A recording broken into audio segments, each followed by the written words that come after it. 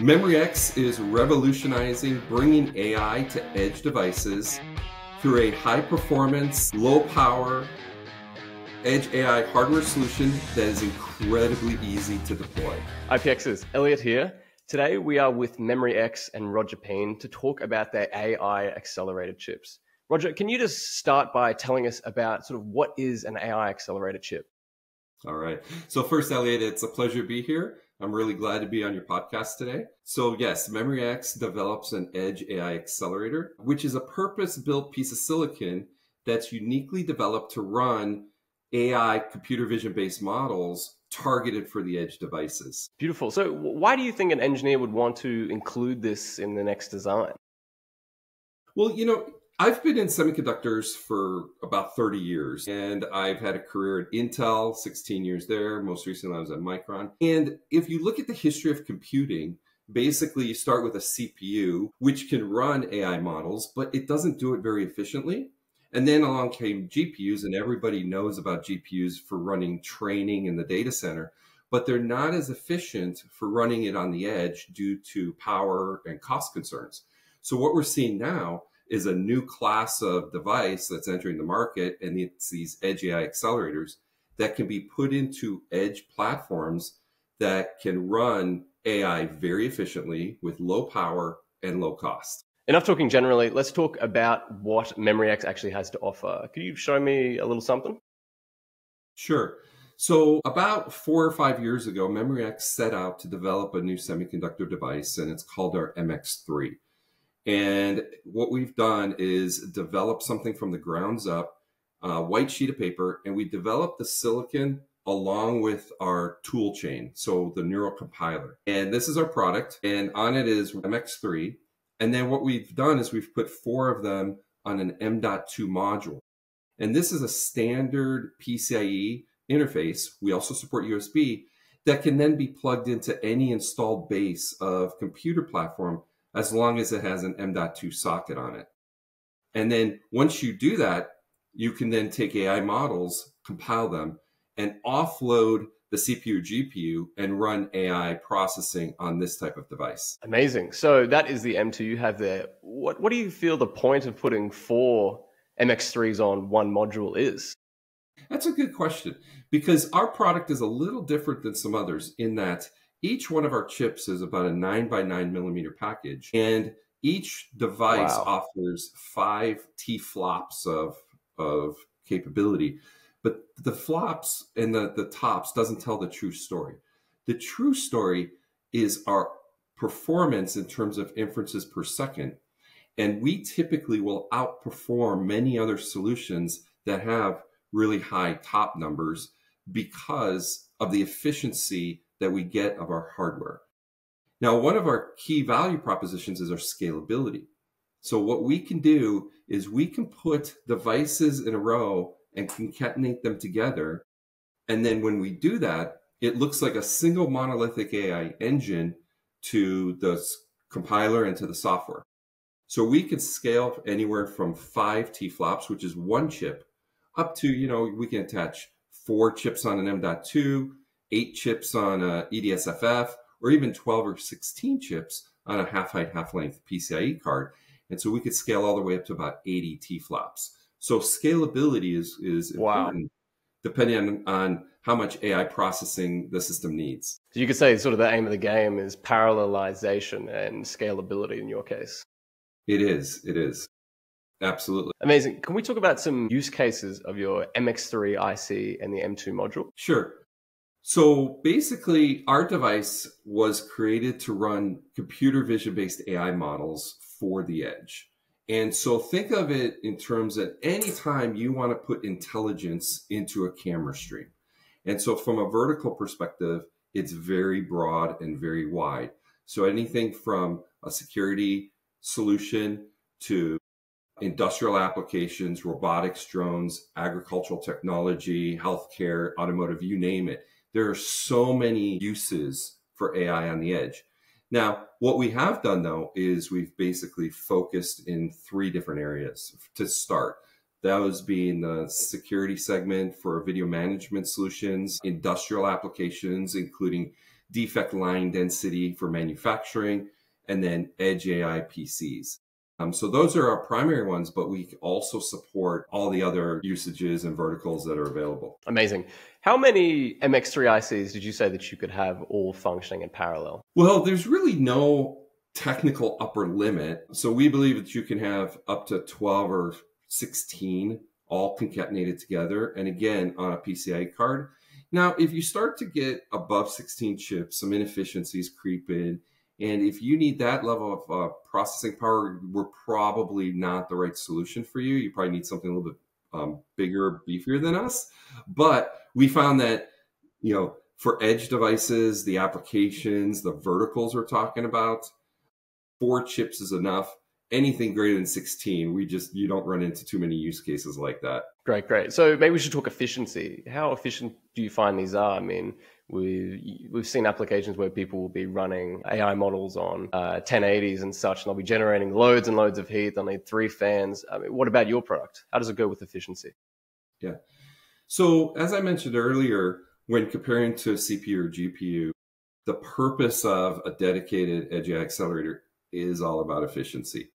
And so our chip is a data flow processor. So basically, it's a streaming solution.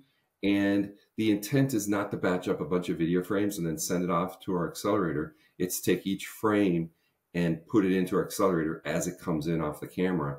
And what we have the ability to do is pipeline those video frames through our solution. Now, what makes us unique is the fact that our hardware efficiency is really, really high. We can get anywhere from 50 to 80% hardware efficiency, unlike many other solutions.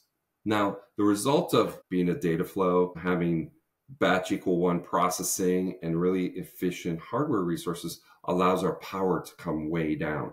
And so on average, each one of our chips runs between one to one and a half watts. Okay, so one to one and a half watts. In that sort of size, do you find that you need fan cooling for something like this? Well, yeah. So let's let's take this module and compare it to, let's say, a GPU. Um, and we've done the testing relative to an NVIDIA RTX 4060 graphics card. So we can run two to three times faster AI inferencing performance, but we're about a tenth of the power and we're about a 15th the size. I mean, if you hold up a GPU, it's much larger than this. And so what this does is it enables us to go into platforms that GPUs simply can't go into. So anything like a five inch by five inch NUC or any other industrial platform that doesn't need active cooling, or better yet, doesn't want active cooling, because nobody wants a bunch of fans running and drawing in the outside air in an industrial uh, setting. It tends to to really shorten the life of those platforms. And so, for anything that needs passive cooling, we're an ideal solution. Amazing. And these devices, they're made to run on the edge. Often on the edge, we don't have high data rates that could be taking data that's been recorded by cameras on the ground and giving them to a cloud. So you would have to be processing everything in the IC. Do you find that gives you any advantages? Well, if you compare it to some solutions that rely on the cloud, there's a couple of things. First, I think we would agree, and most of your listeners would agree, that AI processing is going to be pervasive in our everyday life. And taking all Absolutely. the data that's created on the edge and transmitting it to the cloud for processing is a couple things. It's very expensive. It consumes networks. And so it just makes sense to take the AI processing out of the cloud and move it as close to edge devices as possible. And that way, you're not transmitting a bunch of information, you're transmitting the results of the information, so the metadata. And so I think this Beautiful. is a trend that will continue. And also think about any environment or application where you need privacy. So something like a healthcare where you can't transmit patient information. Anywhere where you can't rely on the internet. So if you think of a manufacturing facility, nobody wants to rely on an internet connection for their manufacturing to stay up and running. Or the perfect case is think of an automobile. Within an automobile, there's all this sensor information coming in, whether it be ADAS or even driver monitor assistance, around vehicle monitoring. None of that can rely on a connection to the cloud to run its AI processing. But in an automobile, you're still relying on batteries. So power efficiency is actually very, very important. Amazing. Great answer. So most engineers uh, or embedded engineers can be scared of this edge AI trend. I mean, you know, what is a T-flop? so how how easy do you make it for them to actually transition into using something like an AI accelerated chip? I'm talking um, how do you train the models? How do you actually put the IC on the board? And is it compatible with most MCUs? Yeah.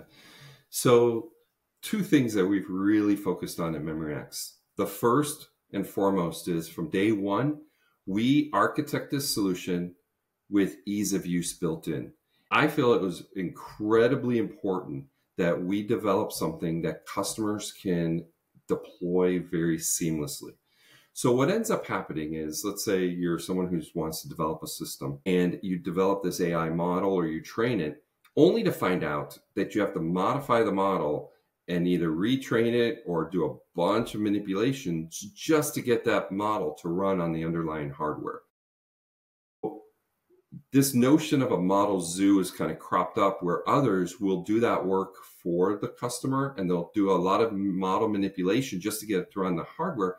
And then it goes into a pre-configured set of models that sits in their model zoo. So at MemryX, we don't have a model zoo. We run the AI models as is directly out of the public domain or custom models. And so that ease of use is really, really important so that uh, designers can focus on the design of their platform, not having to do this artificial manipulation to get things to, to just to run.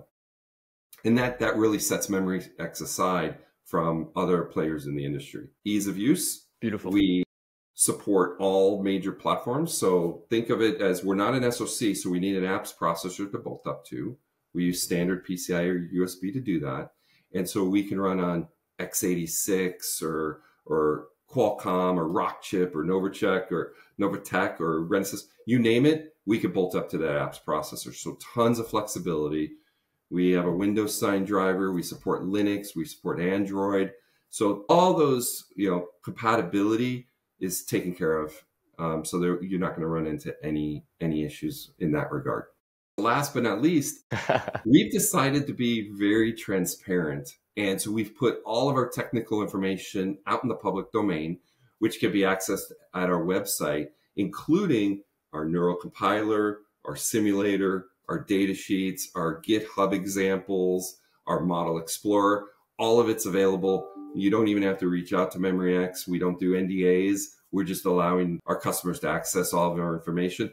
And the real purpose is to get up and running as quick as possible. Beautiful. So, to the engineers who are watching this, it's not as hard as you think if you go with MemryX. This is true. So, if I was an engineer and I was so motivated by the talk that we've had today, and I'm going, wow, I've got a new project and I just have to include this, how could they get started with that? Is this a chip that you can buy off the shelf? Is it something that we have to come through MemryX for? How, how do I go about getting my hands on a chip like this? Um, super easy.